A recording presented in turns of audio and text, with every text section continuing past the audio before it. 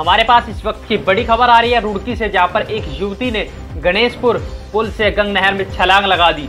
वहीं मौजूद लोगों का कहना है कि युवती एक युवक के साथ बाइक पर आ रही थी, तभी अचानक युवती ने बाइक से उतरकर गणेशपुर पुल से गंग नहर में छलांग लगा दी।